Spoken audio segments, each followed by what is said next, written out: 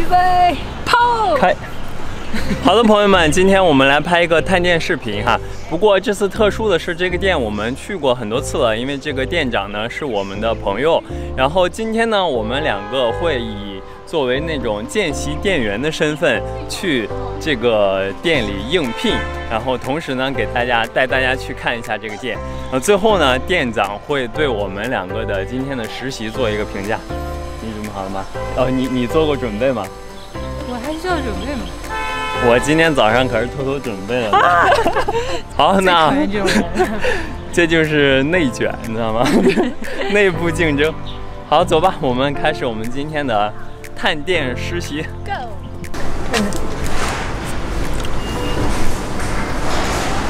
对，因为今天他们晚上有一个活动哈，然后我们作为活动共同参与方，对，也有我们的丝巾在这边做展示。他们家我最喜欢的东西之一就是这个光棍树，发量清奇。我觉得我这 logo 还是挺有辨识性的，对不对？是的，我今天来报道见习了，然后这是我的评审员，然后这你是谁呢？跟着你一起来见习的。哦，你是我的竞争对手啊？哦，你也是啊？我没见过，可以可以。你今天加油吧，好好表现，好吗？已经开始竞争了。擦掉。就是去竞争的时候，先把自己打扮打扮。哎，真的，我今天有认真打扮的。你就穿一个 T 恤。大家看一下，来吧，评审员看一下我的这个今天的着装是不是还比较符合录音的这个风格。颜色 OK，但是我们就很少有男店员，所以我。得看看你的状态，就是符不符合这个其次嘛啊，当然第一印象我肯定觉得他最好，对吧？行，先先 先输了两分了。行，那我们就开始拼真正的实力吧。现看是吧？哦，这能拿起来的，嗨，这不就是小抄吗？评委他现现在这看呢。现复习呢？我我预习预习一下，哦，这叫预习，免得给顾客说错了呀。看吧，预习，我还说的是你是复习，预习说明你从来没学过，复习说明你还学过。你这幕后的人话太多。那先给大家介绍一下这个桌子。好，嗯。我觉得吧，就是家里没有一百平是放不下这个桌子。这，我现在是顾客哈。那我住九十九平房子的人感到很，对吧？很尴尬呀。嗯。怎么办？你这我走了。不是，我刚刚只是问。厉害，这个说这个特别大气，尺寸是长二米八，就是能躺两个我。你一米四啊？你 一米四啊？我我全全是腿啊，全是全是腿。好吓人！他说他全着腿。哦，我以为全是腿呢。宽是一米。嗯。我觉得这个宽度就特别合适，因为坐在两边的人不能挨太近，也不能隔太远，隔太远就特别生疏，挨太近呢又特别拘促，所以这是一个非常合适的一个社交的距离。我觉得这个桌子就很适合那种大的工作室，或者说呃有一些分享的空间啊，就可以买这种桌子。然后它的一个尺寸也很大气，然后这个是通体 榆木的，手感特别的温润，然后它做了这种。嗯，就是展现它自然的这种纹路的那种工艺，就是有一点深的那种痕迹、拉丝儿的那种工艺。哇，关键词 Q 到了，拉丝儿是对的，是对的。对对对，深拉丝。哦，我以为这叫拔丝呢。我自己就很喜欢这种木头的桌子，就比大理石的要更亲近人一些。嗯，但是我作为一个顾客，如果我更喜欢大理石的呢？大理石的。你自己，你老说你自己了，我就知道你心里一点都没有我。我跟你说，我跟你说，就是顾客们，大理石的没有木头的。呃，那么好好原因在于，就是我们冬天的时候，大理石不是一挨上去有点凉吗？那个是对我们养生不是很特别好。生出来，你是不是早就准备好要来我们这边上班？没有啊，所以你这些词儿真的是 到位。我说的都是我自己的自己的感受。对你说刚刚这表面的拉丝儿啊，然后还有这个木头的温润啊，质感很好。嗯，可我如果是作为最开始用这种实木家具的客人的话，对于这种疙瘩呀、虫眼儿呀这种怎么办？他就是我想用，但是我又有一点介意这种东西，怎么办呢？那我我就来了，这个我就会告诉他，这个东西啊，你得格局打开。这玩意儿就是自然的味道，你得格局打开，你就喜欢了。那我们现在看这几个柜子呢，叫做方物。然后你看这有六个格子，所以它的名字叫做六方物。这个叫十方物。然后呢，它是可以自由组合的。你看，这就是有六个这样的方物的柜子来组合起来的。方物的名字叫什么呢？就是美的不可方物那个方物，对吧？我觉！得你在背作文儿。这就是我今天我这是做了功课的。我准备的。好，那你想咋用它吗？这个东西啊，说用就格局就不够了。我就是跟它相处，我买了之后，这就是我的家庭成员，对吧？这不是为我服务的一个家具。哇，你看我现在闻到它的味道了，我就感受到它的存在了。我们两个就有一种互动。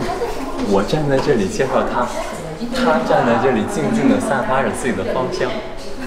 这就是方物。不是，你这 怎么样？这玄学讲解，太玄了，玄学讲解还是真实一点嘛。怎么真实？就哎，这就是一柜子，木头的，走吧。这是什么木头的？这个是香樟木，香樟木。对，为什么那么香呢？就是香樟木。好，说到香樟木，我们还有一个衣柜，来放哪儿了？来跟着我走。你这店员都不知道在哪儿，见习店员嘛，可以理解。主要是他们这儿太大了。我们之前在上海去一个店，他用的就是你们这个柜子，啊，不是差不多的，而是就是这一款。对，当时我就闻到这个味道，哇，真的很香，而且好像这个是可以很多年都有那种味道的，对吧？它会慢慢散发出来。你在问我吗？我凭我凭什么要告诉你呢？你都没有说出这个柜子的亮点，你给我举着，我来。这个销售我看不下去了都。这个柜子的亮点就是它是玻璃门的，就是三面都是玻璃的。嗯然后跟我们普通的柜子就呃衣柜就不太一样嘛，因为我们普通衣柜都是看不见里边的，但这个就具有了一个观赏性，就它不但具有一个储存的功能，它还有一个观赏性，就可以呃隔阻隔灰尘。我觉得这是它的一个我明白了。功能及美观于一身的一个柜子。销售一个很重要的地方就是把大家知道的东西，在添油加醋的使劲多说几遍。你知道来缓解，来缓解你当时面对顾客没话说的尴尬。对，我是觉得，嗯，这种男女这种对这个东西视角的这个差异，我是作为女性客户的话，很吃未了这一套，啊我很有画面感，就我很想把它带回家，尤其就是就这么评委你好漂亮的在。偏呀、哎，我都说不完啊！我觉得这里太好看了，嗯每个东西我都能说出三四点。就是我觉得他们的家具的那个线条和比例感就很好，就是设计师做这个，就是他那个比例做的特别好。就，哎，这个东西就很很美学了，我觉得。就是那种尺度，就是对对把握。对对对对，尺度的拿捏是吧？就是拿捏。哎，Hello，努力介绍你的东西。这是老板对，这是老板。设计师。对，我好喜欢那个门啊，就很有那种日本的感觉。嗯，这个桌子我也很喜欢，这个桌子就是一般的都是方的嘛，长方形的，但它这个倒了一个圆角，就感觉要温和一点。电动的呀。啊，就在这儿。可以从这儿拍一下。他们这个挑空好舒服啊，就感觉有点不太真实。从这个角度看下去，有一种俯瞰美好人间的感觉。然后我还非常想介绍的就是这个柜子，之所以介绍，而且也是我们用实际行动证明了我们对这个柜子的喜欢，对吧？因为我们也买了一个铜盘放在我们的工作室里面。这个我觉得哇，设计感超棒，就是很难很难撞吧，而且而且你可以让它比较这样子，可能要有线条多一点，比较繁复一点。如果你想要简约一点呢，你还可以把整个两个门弄到这儿来，这就有很大的空间，可以放大一点的器物啊，或者书啊，或者什么东西在上面，对吧？对而且它还有一种方式，哎，神奇吧？还可以这样放，也好看。这样放之后呢，这个抽屉是不影响它抽拉出来的。这个呢，也都是非洲柚木的，而且我看过它的那个材料表，全是非洲柚木，一点儿钉子呀、什么金属啊、什么东西都没有，对吧？纯木头的，原木榫卯结构的这样。我觉得他们这里除了家具很好看，他们这个空间的设计也特别好看。我每次来的话都在这儿走过去走过来都很享受。就像他们这里，嗯，有一个壁炉，然后但他们这个壁炉不是那种直接靠着墙的，而是作为了一个走廊的隔断这样，然后有一个有一个空的一个地方，就有就有空间上的一个怎么讲？有留白吧，然后通透感，然后有有一个留白的感觉，就感觉这里到处都是设计师设计师的小心思。他们把这个国际象棋上边的还做了一个这样的环，可以当项链的那个坠子，然后每天都换不一样的妻子，换不一样的妻子，换不一样的妻子。我看你是不是想换不一样的妻子啊？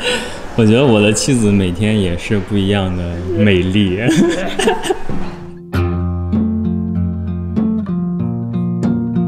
现在的环节是颁我们这个金南瓜奖。噔噔，那这个南瓜跟你的丝带还蛮搭的。我丝带就是未了的，嗯，对。我刚想问你在哪儿买的，好好看哦。这个打法也是未了教我的。其实我觉得今天我俩介绍的这个，大家肯定都没有看够，对吧？因为他们东西实在是太多了。对，他们在哪儿呢？他们在重庆金山易库，对，然后他们的淘宝店也叫利物英。这个南瓜在立 Living 展厅已经待了大半年了，就是这个对这个大半年了，然后这个这个可能就是这个都有三四个月了，待会儿说。这个是去年十月份到现在的，这个以前是绿的，我其实就是偏玄学派的，嗯，他呢比较偏，也不是很务实，偏就是说到顾客心坎儿上那一派的，平平无奇的把每一个字说在了顾客的心坎上，毫不费力的把他的钱包掏开，是的，呃，推波助澜的让他的家变得更美。对我对，你的点评很简单，嗯，就没有我说的好。嗯，我的点评也很简单，就是嗯，小孩子才做选择嘛，成年人就想 all in，所以你们两个都可以。他的是烂，所以他是金南瓜奖，我是烂南瓜奖。对。其实我很欢迎大家来我们这个空间玩儿，不只是作为客人，也可以作为我们这个空间的参与者。因为我自己本身就之前是 Living 的客人嘛，然后跟未了的认识也很机缘巧合。嗯、关于我们的故事，请看上上上上段视频吧，对，上段对对对 对，嗯，反正这个空间呢，就是会给人很多的启发。你们来这里玩南瓜也可以，然后玩家具也可以，随时来，我们都很欢迎。